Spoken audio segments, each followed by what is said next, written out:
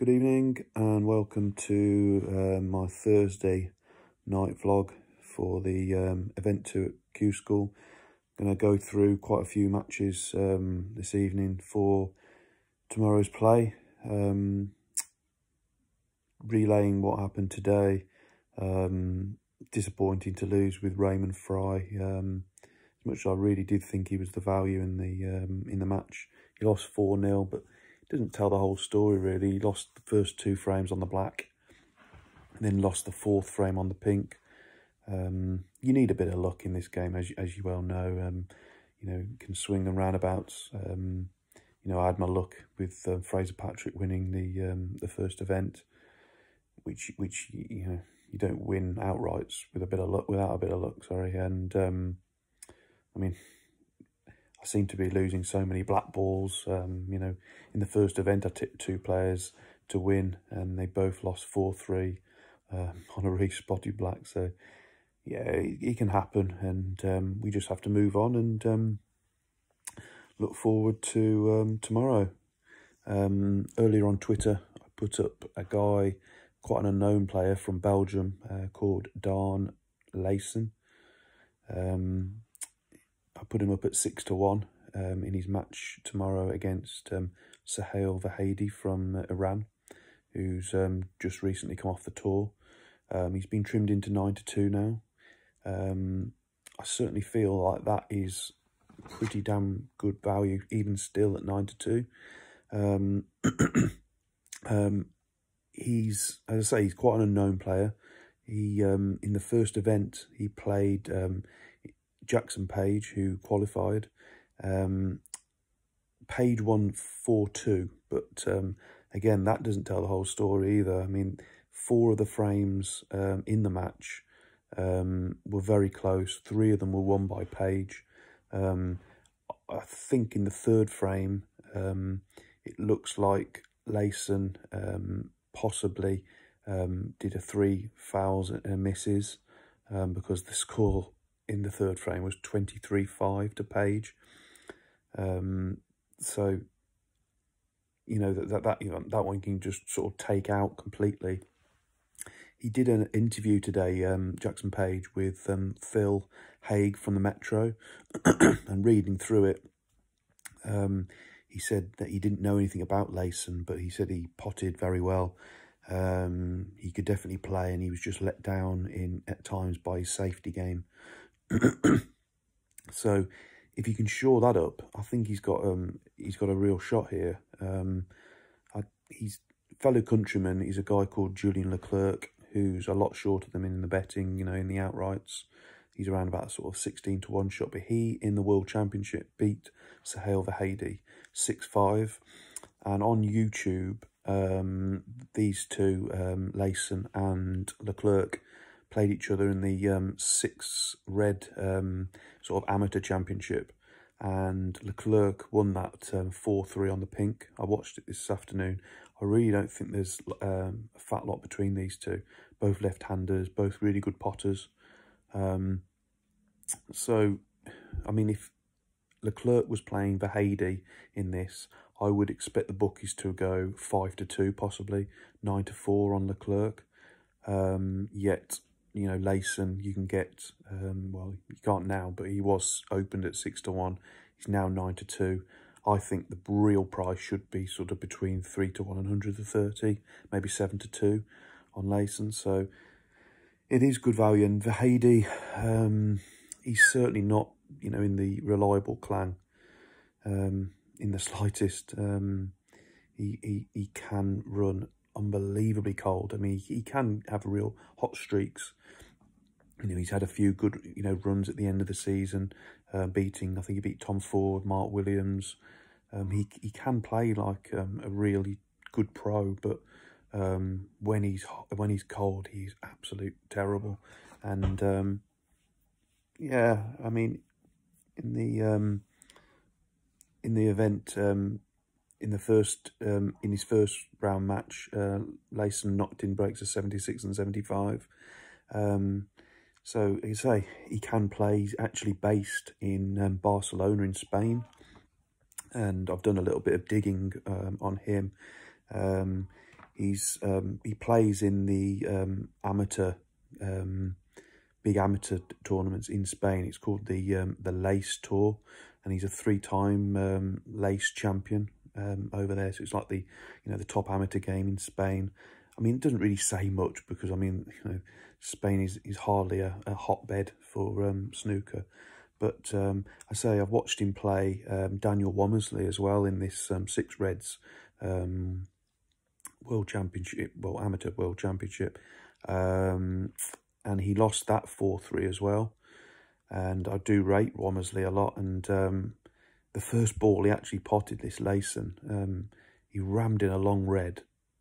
as Sweet as a nut. I mean, honestly, if Judd Trump would have done it, you know, you'd have been uh, wowing over it. He, you know, cued it so beautifully. So he looks um, a real, you know, a real decent player to me. And um, he's got absolutely nothing to lose. um, yeah, and I thought six to one was um, way too big, and yeah, be interesting to see um, you know how this guy gets on. So that's my main tip. Um, I would say tomorrow six to one on Daan Leyssen.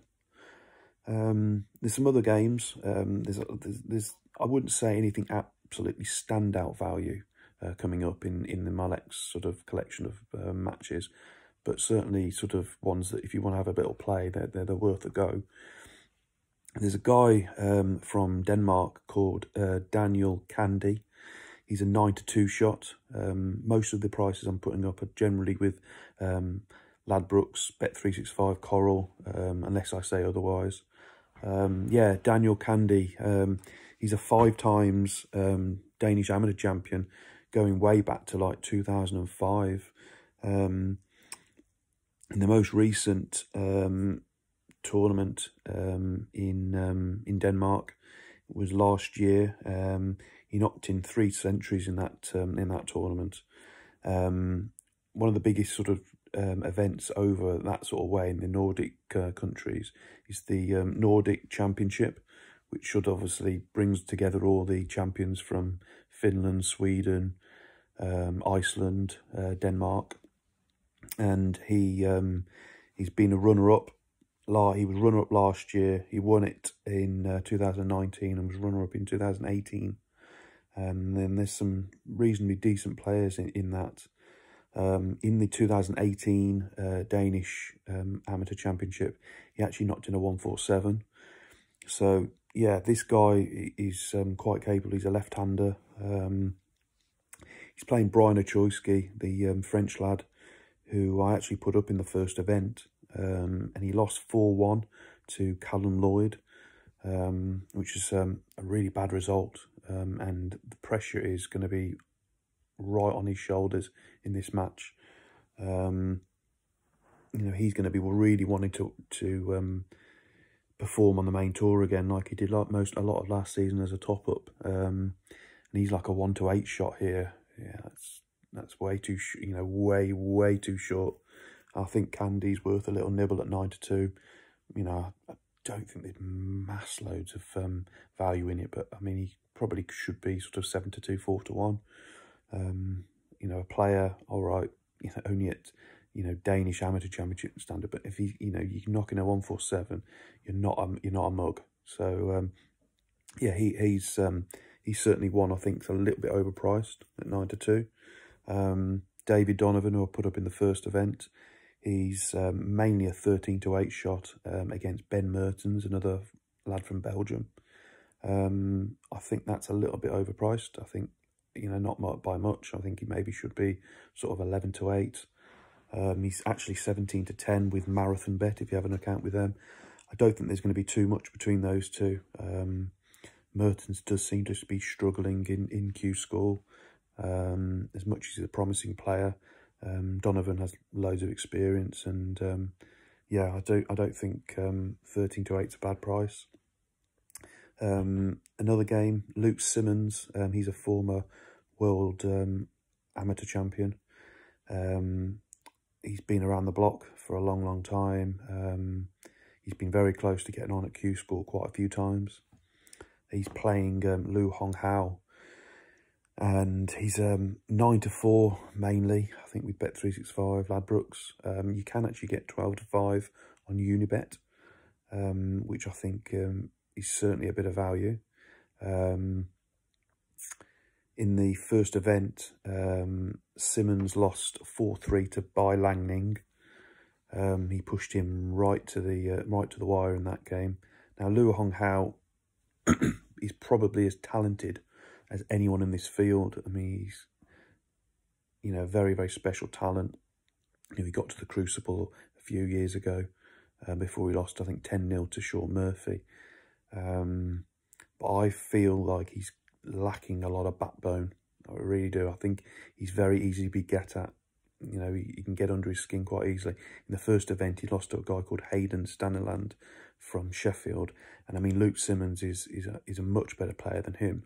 So um, yeah, he's got his work cut out in that in that match tomorrow.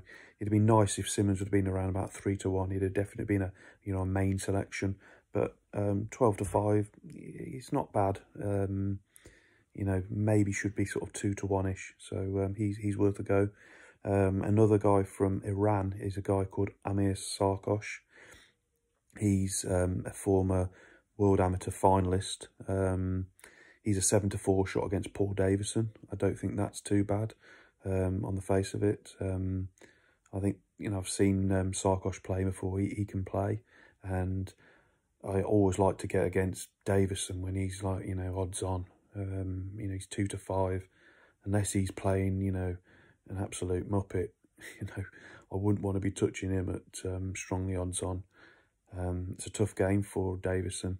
Um, maybe his experience might might hold the key, but um, Sarkhosh, um, he definitely can play, and uh, yeah, he's another another one that interested me. Um, there's two more. Um, Tyler Rees is um, a decent amateur from Wales. Um, it looks a little bit of a pick 'em against uh, Ross Bulman, who had a poor defeat against Gary Thompson in the first event. As for after I put him up, um, I think he should be just about favourite against uh, Tyler Rees. I think Rees should be maybe 11 to 10, 6 to 5, or you can get 11 to 8 um, with um, Ladbrokes.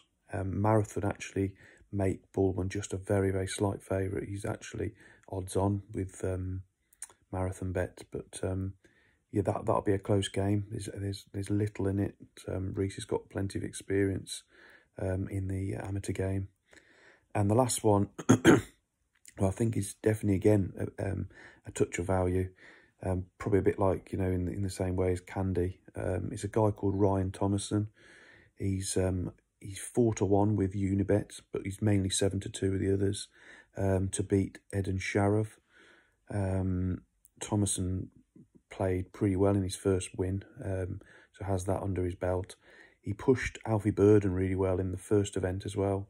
I messaged Alfie uh, about about Thomerson, and um, he said, you know, he played very very well, and um, you know, he um, he pushed him pretty hard, um, and he said he, he's, he's pretty useful. So um, seven to two, four to one, he's he's quite good on the Australian. Um, Sharav, I've said before, I think he's a player that I definitely like to get at. Um, I don't think he's, um, I don't think his confidence is up after dropping off the tour he's um, I don't think he's got massive backbone either, but I could be wrong. But um, I do think there's a bit of value in Thomerson um, with the pressure all on um, and Sharav. Right, that's uh, pretty much it. Um, um, hope you've uh, hope you hope, hopefully we'll have a few winners uh, tomorrow. Fingers crossed, and um, you know, good luck with your selections. And I'll be back tomorrow with more tips, hopefully for Saturday. Yeah, Good night, everyone. Take care. Bye.